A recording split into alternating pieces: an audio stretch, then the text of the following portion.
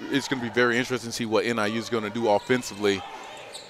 Huskies answer that question. Darweshi Hunter, a quick triple. Thornton quickly on the other end, underneath, and the reverse from Nutter. Entry pass wide open, and a throw down from Barkley. Bates, and here he is again. Bates off the mark. Huskies held him to seven last time. Up ahead to Hunter, and another two-hand throw down. Nice screen from Crump. And that's what Thornton it's really good at. the rim. Thornton's really good with these ball screens right here. Taking a three himself this time, and he connects. The senior on the board with three. Ice skates underneath, kicks to the corner. Hunter's third three attempt, and it rattles in. The Huskies stay red hot. Hunter already a pair of three.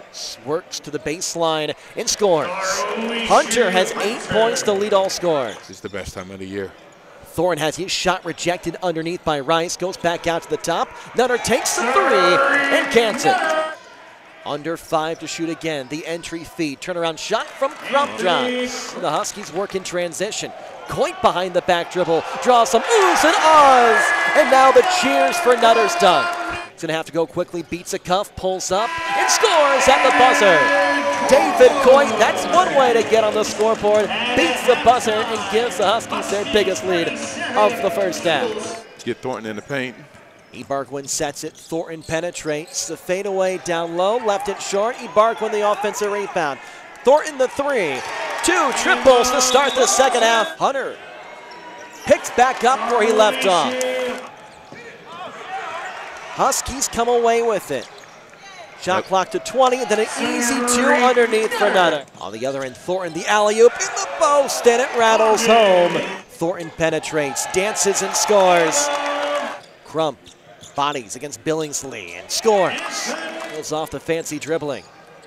Alley oop to Bargwin. He finishes at the rim. Quickly ahead to Nutter.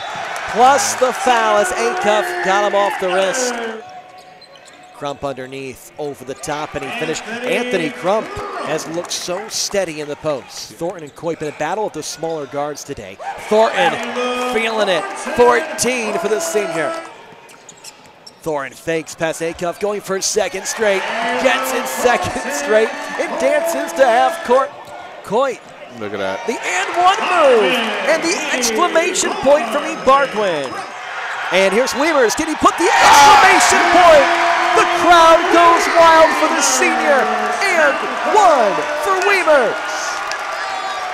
That is awesome.